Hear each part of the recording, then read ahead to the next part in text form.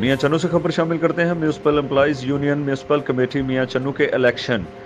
خانیوال سے ہمارے bureau chief مظہر اسحاق کی رپورٹ کے مطابق میاں چنو میونسپل کمیٹی میں الیکشن میں دو گروپوں، فرینڈز گروپ اور مجاہد گروپ کے امیدواروں نے کاغذات نامزدگی جمع کروانے تھے، لیکن آج مجاہد گروپ نے غیر مشروط طور پر فرینڈز گروپ کے ساتھ الحاق کر لیا، جس کی وجہ سے فرینڈز گروپ کے امیدواران بلا مقابلہ دو سال کے لیے منتخب ہوئے، جن میں حاجی محمد اقبال، صدر Syed Sajjad Hussain Shah, chairman Chaudhry Umar Daraz, general secretary منتخب ہوئے۔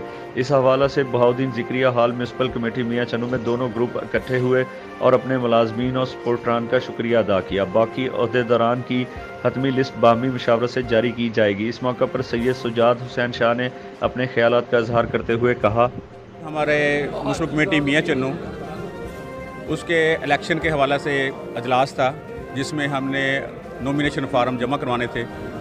دو گروپس تھے جن کا آپس میں مقابلہ تھا فرینڈز گروپ اور مجاہد گروپ آج مجاہد گروپ کے جو سربراہ ہیں، ملک سعید احمد، ملک صاحب، انہوں نے غیر مشروط طور پر فرینڈز گروپ کا تعید کی ہے اور فرینڈز گروپ کا جو پینل ہے، اس کو تسلیم کیا ہے۔ اور اس لیے فرینڈز گروپ کا جو عہدیداران ہیں، وہ ملا مقابلہ منتخب ہو گئے ہیں۔ اور اسی سلسلہ میں تمام لازمین کو ہم نے خراج تحسین پیش کرنے کے لیے، مبارکباد دے کرنے کے لیے، اور جس میں صدر جو ہمارے حاجی اقبال صاحب ہیں، اور جنرل سیکٹری جو ہیں، عمر دراز چودھری عمر دراز صاحب ہیں، اس طرح دوسرے بھی عہدوں پہ ہم نے الیکشن ہو گئے ہیں، اور بلا اور بلا ان اپوزڈ اور بلا مقابلہ یہ منتخب ہو گئے ہیں، جس پر ہماری یونٹی اور ہمارے دوستوں کا آپس میں پیار محبت میں اضافہ ہوا ہے، اور اس پر ہم دوبارہ مجاہد گروپ کے جو عہدیداران ہیں، ان کا شکریہ ادا کرتے ہیں۔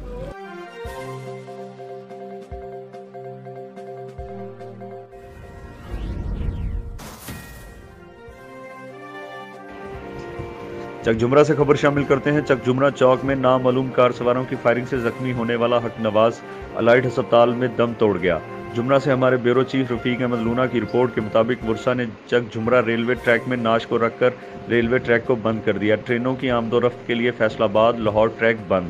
چنیوڑ روڈ اور جمرہ فیصل آباد، سانگلہ جمرہ روڈ کو بھی ٹائر جلا کر بند کر دیا گیا۔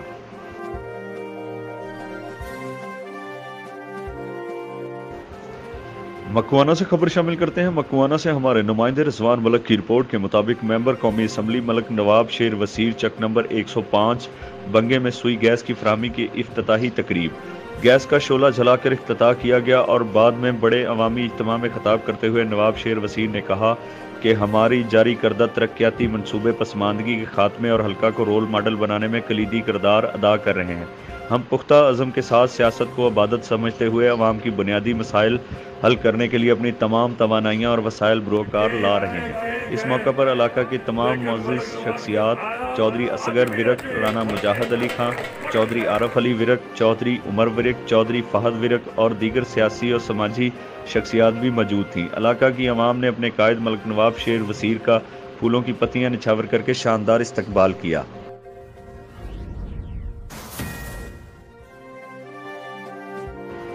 سانگلہ ہل سے خبر شامل کرتے ہیں۔ نامعلوم ملزمان کی فائرنگ سے جاں بحق ہونے والے پاک فوج کے جوان کو اس کے ابائی گاؤں میں سپرد خاک کر دیا گیا۔ نماز جنازہ میں سینکڑوں افراد نے شرکت کی۔ پاک فوج کے چاک کو چوبند دستے نے اسلامی پیش کی۔